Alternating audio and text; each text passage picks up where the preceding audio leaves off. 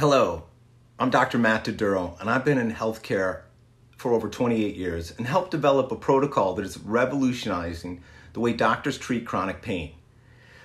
Our topic today is how long can you live without food, water, or oxygen? Now, food, it's estimated that the human body can survive 30 to 40 days without food. Water, it's established that a person can survive three to four days without water. Oxygen, it's estimated we can last three to four minutes without oxygen, but you can't live a second without energy. So, when are you truly dead? When the electrocardiogram can no longer measure energy in your heart or body. So, every person and situation is different. We're following the rule of threes, right? That gets at the desperate nature of what our body needs to survive. Three minutes without oxygen, three days without water, and about three weeks without food.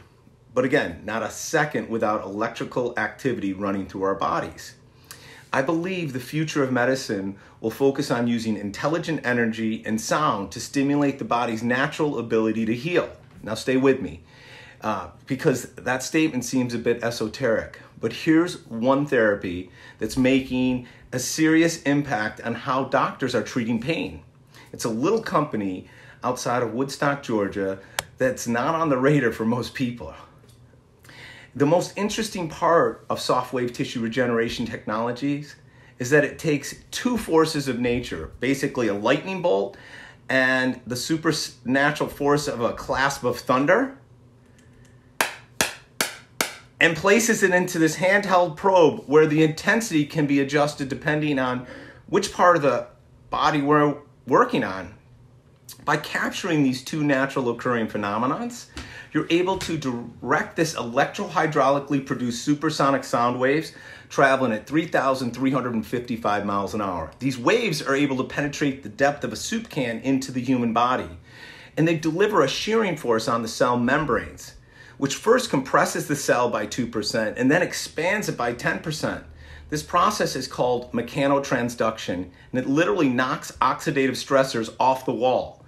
This in turn helps improve cell membrane permeability by al- allowing nutrients in and waste products out. Mechanotransduction triggers a cascade of regenerative healing steps that follow.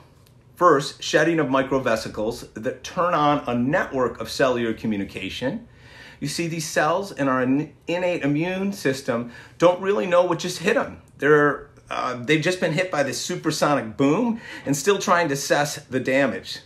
They've triggered the fire alarm for these first responders of our innate immune system that must deal with uh, foreign intruders, viruses, or antigens that may have penetrated our body's natural defense system.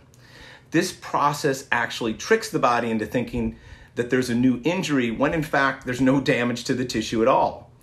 One immune receptor that's called into action is called toll-like receptor 3.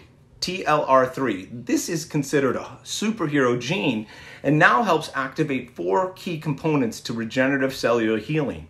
It decreases inflammation, which is really the silent culprit and I believe the true source of pain, improves circulation and angiogenesis by causing vasodilation of the arteries, and helps increase blood flow and flush out toxins.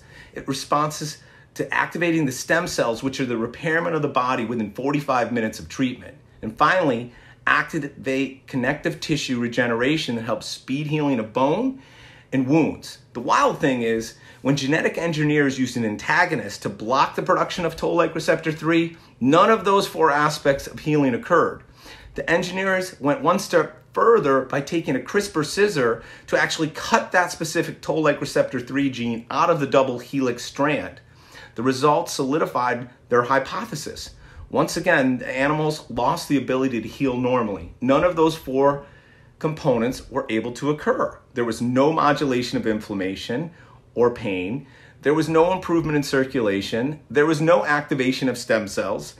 The subjects in the study lost the ability to regenerate tissue and heal properly. So, if you're interested in improving your body's own natural healing ability, or you're interested in bringing this world class medical device technology to your community, then you can leave me a message here or feel free to private message me.